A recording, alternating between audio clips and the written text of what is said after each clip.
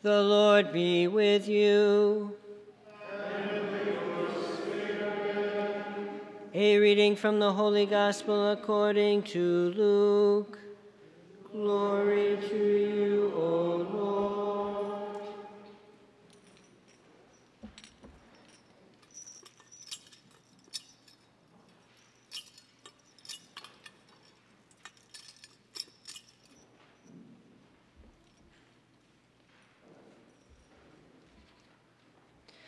Tax collectors and sinners were all drawing near to listen to Jesus. But the Pharisees and scribes began to complain, saying, This man welcomes sinners and eats with them. So to them, Jesus addressed this parable A man had two sons, and the younger son said to his father, Father, give me the share of your estate that should come to me. So the father divided his property up between them. After a few days, the younger son collected all his belongings and set off to a distant country, where he squandered his inheritance on a life of dissipation. When he had freely spent everything, a severe famine struck that country, and he found himself in dire need. So he hired himself out to one of the local citizens, who sent him to his farm to tend the swine. And he longed to eat his fill of the pods on which the swine fed but nobody gave him any. Coming to his senses, he thought, How many of my father's hired workers have more than enough food to eat? But here am I, dying from hunger. I shall get up and go to my father, and I shall say to him, Father, I have sinned against heaven and against you. I no longer deserve to be called your son. Treat me as you would treat one of your hired workers.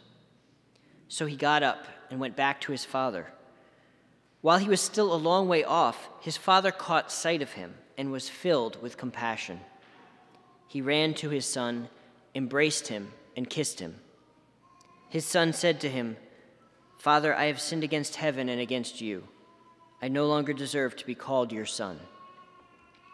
But his father ordered his servants, Quickly, bring the finest robe and put it on him.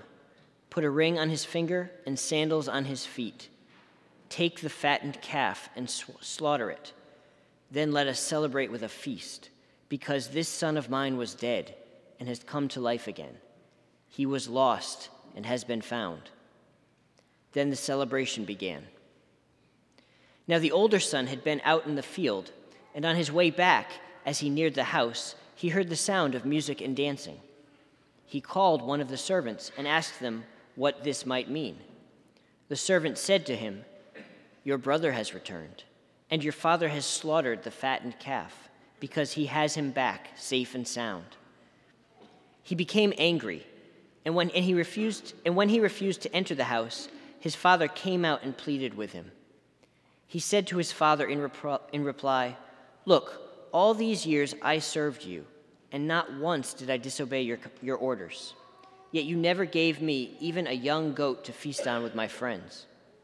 But when your son returns, who swallowed up your property with prostitutes, for him you slaughter the fattened calf. He said to him, My son, you are here with me always. Everything I have is yours. But now we must celebrate and rejoice, because your brother was dead and has come to life again. He was lost and has been found. The Gospel of the Lord. Praise to you, Lord Jesus.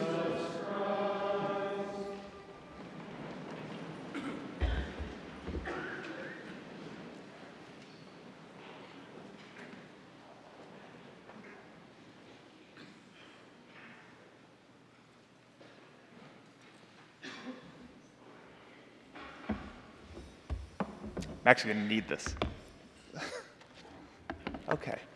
Well, today is Laetare Sunday, which is why we're wearing pink today. Rose, not pink. And God gives us a great reason to rejoice. He gives us the parable of his mercy, the parable of the prodigal son. And so, you know that I like to start many of my homilies with uh, stories or movies, but you really can't improve on the story that Christ gives us today. It's one of his greatest parables and one of the ones that has the most to say to us. And so let's just look at it together and see which son we are. Maybe we're both. And figure out what the true message here is in the prodigal son. Because we start off with two sons, an older and a younger. And the older son asks the father for his share of the inheritance now. Now, of course, in Jewish times, as it is today, inheritance was usually given at the time when the father died. This is the time before living trusts and uh, death taxes, things like that. And so, what the son's really saying to the father is, I would rather you be dead. I want my inheritance now. And the father, rather than refusing his son, gives him the option of leaving, gives him, his, uh, gives him the inheritance right then. And the son takes this great inheritance and goes out of the father's house. And that idea of the, wanting the father to be dead is really what we do every time we sin. We're saying that we know better, that we want to take the inheritance that God gives us and pretend that he doesn't exist. Pretend that the commandments that He gives us are not for our own good. Pretend that there is no God and we can live without Him. And so the younger son sets off, and he goes out and lives a life of dissipation, of debauchery. And he spent everything he was given by the Father. I think it's fair to say he himself was just utterly spent. And we each struggle with our own set of sins based on our own human nature, and whatever it is or whatever they are, when we engage in those sins freely, I don't think any of us ever get to the end and say, well, that was worthwhile. Glad I did that. You know, that worked out very well for me.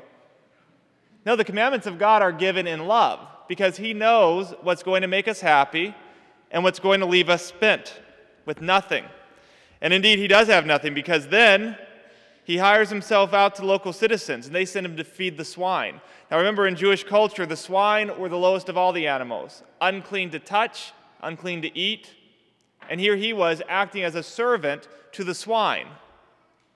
You can't get lower than that in Hebrew culture. He eventually, though, came to his senses because he had, literally had nothing.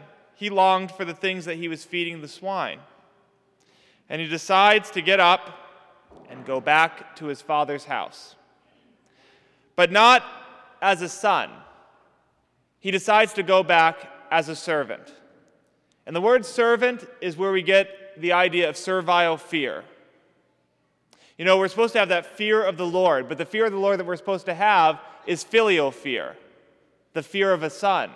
The fear of a son who knows the love of the Father, who knows that the Father is so loving that he's afraid to displease him. Not out of fear, really, but out of love. There's a fear to disappoint God the Father.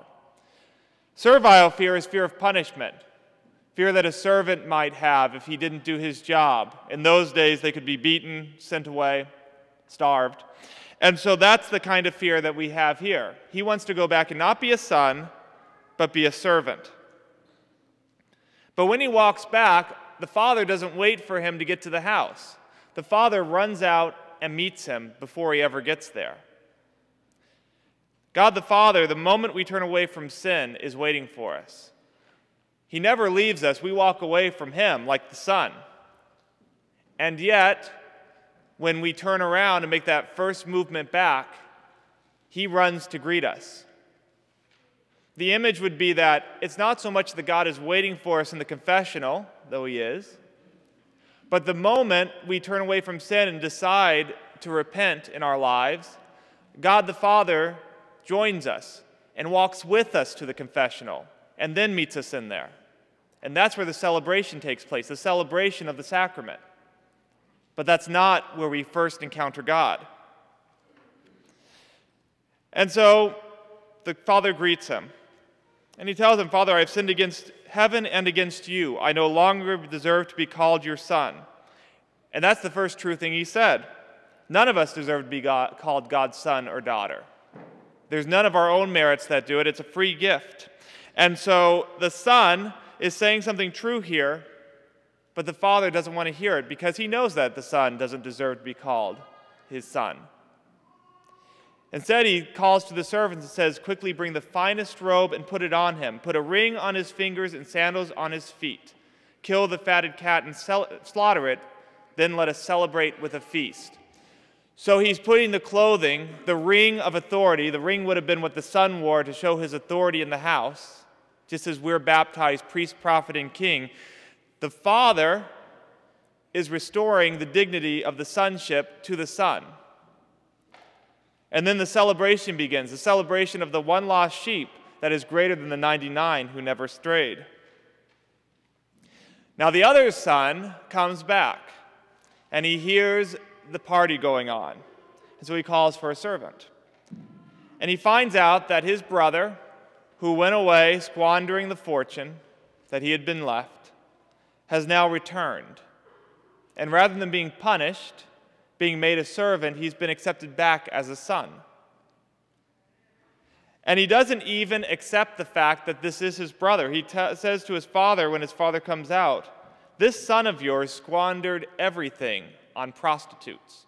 Now, nowhere here does it say that he spent his money on prostitutes. He might have, but it talks about how he lived in dissipation. But the younger son, or the older brother assumes the worst. He's judging things that he doesn't even know about. And he's also denying the fact that this is even his brother, that this person is worthy of being called the son of his father. And then the father tells him, My son, you are here with me always. Everything I have is yours. But we must celebrate and rejoice, because your brother was dead and has come to life again. He was lost and has been found. So the father is now trying to draw the sons back together into a cohesive union of a family. And we often put ourselves, I think, in the position of the older son or the younger son, the one who ran away, because we all are in need of forgiveness.